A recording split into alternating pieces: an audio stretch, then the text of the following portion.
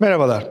Bu video serisinde yaşlı bireylerin izlemini nasıl yaptığımızı gözden geçiriyorduk. Özel olarak bu videoda da fonksiyonel durum değerlendirmesine odaklanacağız. Bu videoların başlangıcında ortak bir bölüm var. Hepsine tekrar ettim. Önemli noktaları özellikle vurgulamak istiyorum. Burada da bir kez daha bu bilgileri size hatırlatmak istiyorum. Birincisi yaşlı bireylerin genel sağlık durumu günlük yaşam aktivitelerini gerçekleştirme becerileri ve ilaç kullanım durumlarının değerlendirilmesini yılda en az bir kez mutlaka yapmalıyız. E, bu değerlendirmeleri üç ana başlık altında ele alıyoruz. Fonksiyonel durum değerlendirmesi, mental durum değerlendirmesi ve beslenmenin değerlendirilmesi olarak. Öncelikle şu önemli bilgileri hatırlayalım. Yaşlı kişileri izlerken günlük yaşam aktivitelerinin değerlendirilmesi ve bağımlılık, bağımsızlık durumunun belirlenmesi çok önemli olmaktadır. Her muayenede mutlaka rutin olarak mini nütrisyonel değerlendirmeyi yapmalıyız. Yılda bir kez klinik kırılganlık ölçeğini uygulamalıyız. Yılda bir kez mini mental test veya saat çizme testi ve üç kelime hatırlama değerlendirmesini yapmalıyız her ölçümden alınan puana göre hangi işlemi yapacağımıza, herhangi bir tedavi gerekip gerekmediğine karar vermeliyiz ve gerektiğini düşündüğümüzde uzman hekime sevk etmeliyiz. Bu değerlendirmeleri yaşlı bireyin durumuna uygun olarak aile sağlığı merkezinde, bireyin evinde veya bir bakım evinde yapabiliriz. Ayrıca koşullar gerektiriyorsa uzaktan videolu görüşme aracılığıyla da bunu uygulayabiliriz. 65 yaşını aşmış her birey için yılda en az bir kez genel durum değerlendirmesiyle birlikte çok yönlü geriatrik değerlendirme yapılmalıdır. Bu cümleyi hiç unutmayalım. Genel değerlendirmede neler yapıyoruz? Anamnez alıyoruz, fizik muayene uyguluyoruz ve laboratuvar incelemesi yapıyoruz. Hastanın kullandığı ilaçları mutlaka gözden geçiriyoruz ve bütün bu bilgileri kayıt altına alıyoruz.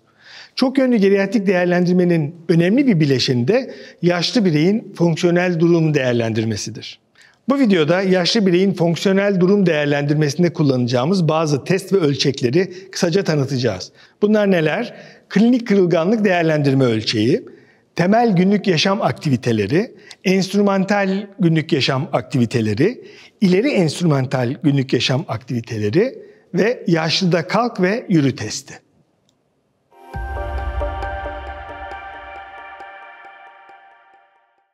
Şimdi klinik kırılganlık değerlendirme ölçeğine bakalım.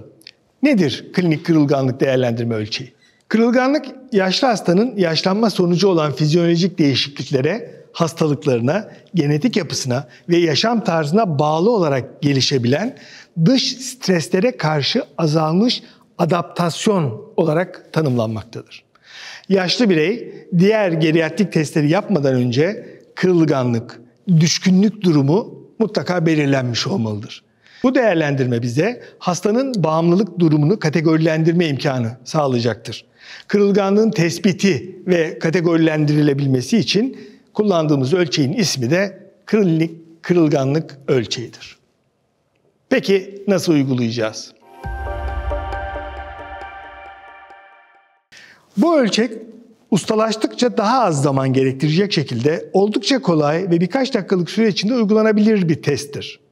Hastanın mobilitesi yani hareketliliği, e, alışılmış fiziksel aktiviteleri, bu konudaki yeterlikleri sorgulanır, veri toplanır.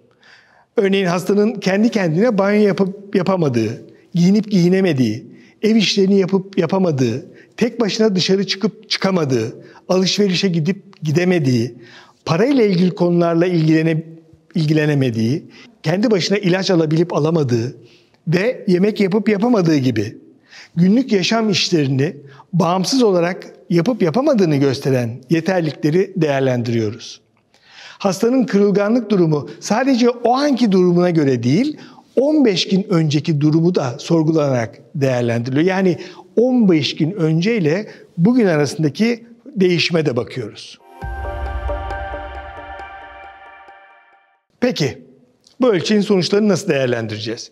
Bu ölçek hastanın sağlık durumuna göre 1 ila 9 arasında bir puanla değerlendiriliyor. 1 oldukça fit yani sağlam, aktif, enerjik ve motivedir bu bireyler. Bu bireyler genellikle düzenli olarak egzersiz yaparlar. Kendi yaş gruplarında da en fit olan bireylerdir.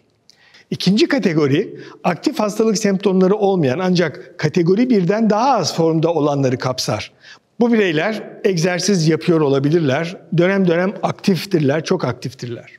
Üçüncü kategori idare ediyor diyebileceğimiz bireyleri kapsar. Tıbbi problemleri iyi kontrol edilen ancak düzenli yürüyüşün ötesinde aktif olmayan kişileri kapsar. Dördüncü kategorideki bireylere savunmasız bireyler diyoruz. Bu bireyler günlük aktivitelerinde başkalarına bağımlı olmasalar bile hastalıkları ya da mevcut belirtileri dolayısıyla aktivitelerini sınırlandırmakta olan bireylerdir. Beşinci kategorideki bireylere hafif kırılgan bireyler diyoruz.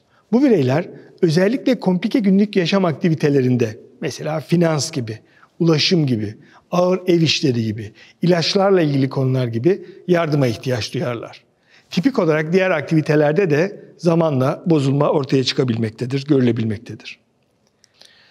Altıncı kategoride orta derecede kırılgan bireyler tarif edilmektedir. Bu bireylerin hem ev dışı aktiviteler hem de evin düzeniyle ilgili aktivitelerde her konuda yardıma ihtiyaçları vardır.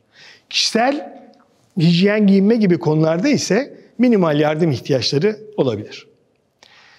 Yedinci kategorideki bireylere ciddi kırılgan bireyler diyoruz. Bu kategori ciddi kırılgan kategorisi. Burada fiziksel veya bilişsel, demans gibi herhangi bir nedenle bakıma tamamen bağımlı olan bireyler kastedilmektedir.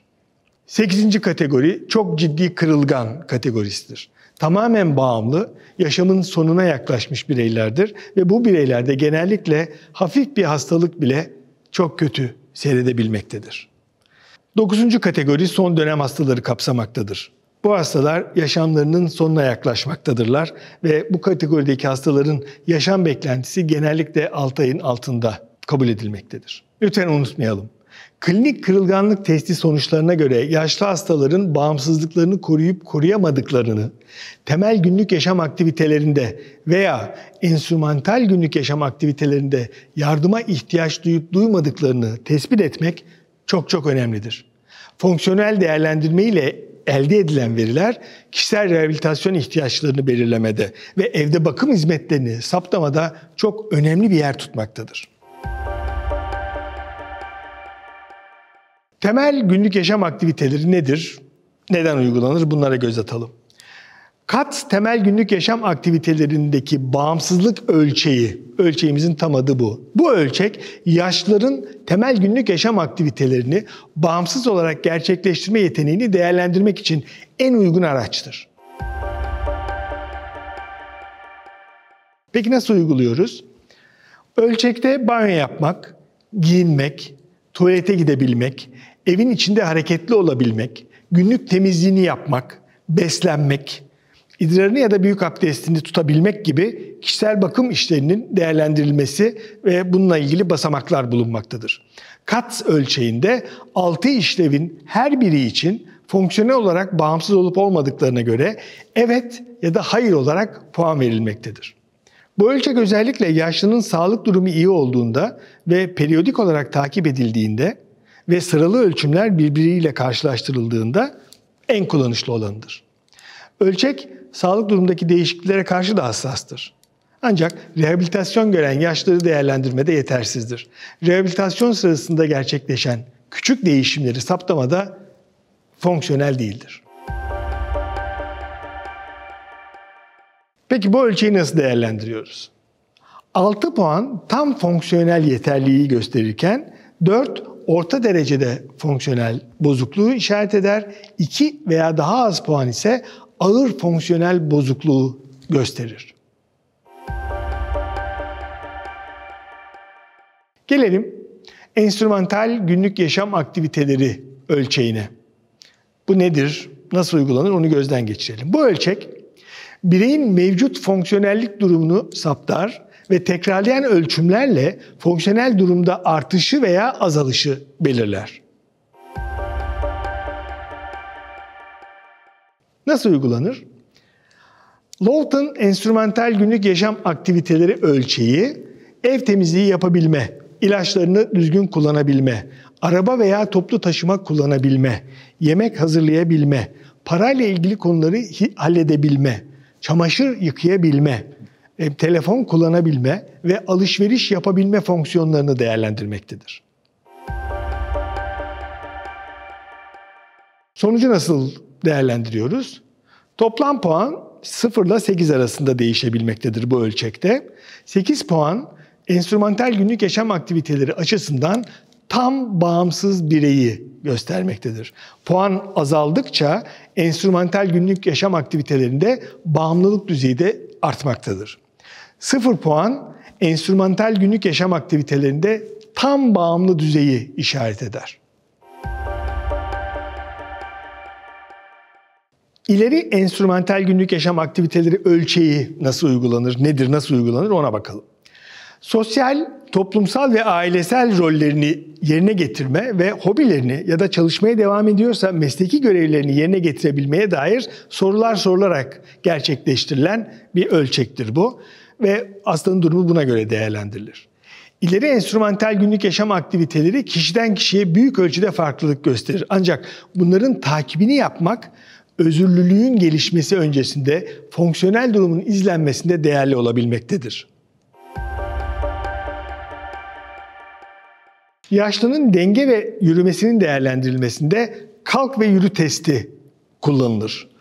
Önemli bir not olarak şunu söylemek isterim. Tam bağımlı hastalarda kalk ve yürü testi yapılamaz. Yarı bağımlı ve tam bağımsız hastalarda ise yılda bir kez kalk ve yürü testinin yapılması önemlidir, önerilir.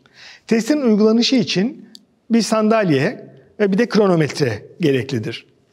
Test sandalyeden kalkma, 3 metrelik mesafeyi gitme ve geri gelme ve tekrar sandalyeye oturma şeklinde gerçekleştirilir. Kalk ve yürü testinin amacı bireyin bu süreci tamamlama süresinin ölçülmesidir. Nasıl uyguluyoruz? Testin yapılış sırasında nelere dikkat etmeliyiz? Yaşlı birey öncelikle sandalyeye oturtulmalı ve 3 metrelik mesafe belirlenmelidir. Yaşlı birey baston gibi yürümeye yardımcı alet kullanıyorsa test sırasında bu aletleri kullanmasında bir sakınca yoktur, kullanmalıdır. Testin yaşlı bireyin günlük giydiği ayakkabıyla yapılması önerilmektedir. Test başta komutu ile başlatılır. Komutu verdikten sonra kronometre çalıştırılır. Kronometre kişi 3 metre mesafeye gidip geri döndüğünde sandalyeye oturduğu zaman durdurulmalıdır. Test uygulaması sırasında kişinin durup dinlenmesinde bir sıkıntı yoktur, dinlenebilir. Ancak dinlenirken oturmamalıdır. Uygulamada önce bir kez deneme testi yaptırılır. Sonra test iki kez daha uygulanır ve iki ölçümün ortalaması alınır. Yani ilk uygulama denemedir, o ölçülmez, bir yere yazılmaz. Sonra iki kez uygulandıktan sonra bu iki, iki uygulamanın ortalamasını alırız. Şimdi bu testin uygulanması sırasında yaşlı bireye ne yapacağını adım adım söylemeliyiz. Ve o kadar net söylemeliyiz ki e, her şey çok anlaşılır olmalı. Peki bunu nasıl söyleyelim? Neler söylemeliyiz? Onu canlandıracağım şimdi. Hazır başla dediğim zaman sandalyeden kalkacaksınız. Kalkarken veya otururken ellerinizi kullanabilirsiniz. Kalktığınız zaman kendinizi en güvenli ve rahat edecek şekilde ama mümkün olduğunca çabuk bitiş bandına doğru yürüyeceksiniz. Bitiş bandına geldiğinizde her iki ayağınızın da bitiş bandını geçmesi gerekmektedir. Daha sonra arkanızı dönüp bu kez sandalyeye aynı şekilde geri geleceksiniz ve oturacaksınız. Peki bu testi nasıl değerlendireceğiz? Testi tamamlama süresi 10 saniyenin altında ise bu hasta için düşme riski düşüktür diyebiliriz. Yani bireyin mobilitesi oldukça yeterlidir. Testi tamamlama süresi 10 ila 19 saniye arasında ise bu kez bireyin mobilitesi yeterli olmakla beraber orta derecede düşme riskine sahip olduğunu söyleyebiliriz. Eğer testin tamamlanma süresi 20-29 saniye arasında ise bireyin düşme riski yüksektir. Böyle kabul ederiz. Testin tamamlanma süresi 30 saniyenin de üzerinde ise birey düşme riski açısından çok çok yüksek bir risk altındadır. Bu bireylerin günlük yaşam aktivitelerinde başkalarına bağımlılığı daha fazladır. Bu bireyler mutlaka ileri bir merkezde çok yönlü geriatrik bir değerlendirmeye alınmalıdır.